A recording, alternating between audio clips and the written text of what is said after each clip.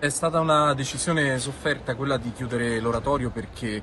eh, a me fa piacere che i ragazzi possano sempre venire in parrocchia e penso che eh, la parrocchia sia sempre meglio di altri luoghi. Eh, arriva però un momento, ed è capitato già diverse volte in questi anni in cui sono parroco, in cui bisogna dare dei segnali, quando si bestemmia in continuazione, poi parliamo di ragazzi tra gli 8 e i 13 anni, eh,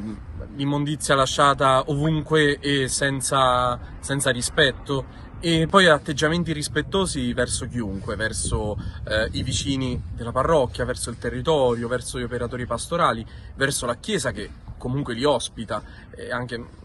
un gesto poco, di, di, poca attenzione è questo. E, e, poi la parrocchia che continuamente si impegna anche per tenere l'oratorio ecco, pulito, sistemato. Abbiamo appena comprato eh, due nuove porte da calcio, insomma, in qualche modo cerchiamo di essere vicini ai ragazzi, ma ecco, ne otteniamo poi eh, questi atteggiamenti. La cosa che sottolineo è proprio la totale assenza degli adulti, eh, dei genitori, dei volontari, di persone che vogliano veramente stare a disposizione dei ragazzi e questo secondo me è la cosa più importante perché ehm, si pensa che basti solo il luogo, invece c'è bisogno di persone, c'è bisogno di eh, adulti che possano stare accanto eh, ai nostri giovani. Eh, una cosa che poi sottolineo e che mi ha fatto riflettere questo, può sembrare una, una stupidaggine, una,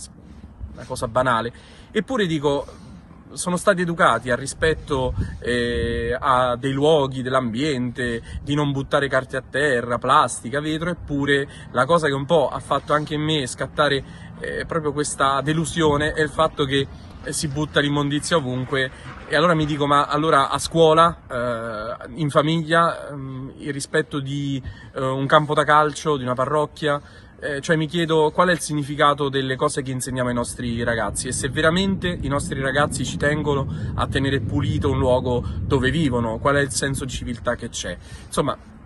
i sentimenti adesso sono rabbia certamente, ma soprattutto di delusione, perché mi dico qual è la direzione dove, dove stiamo andando?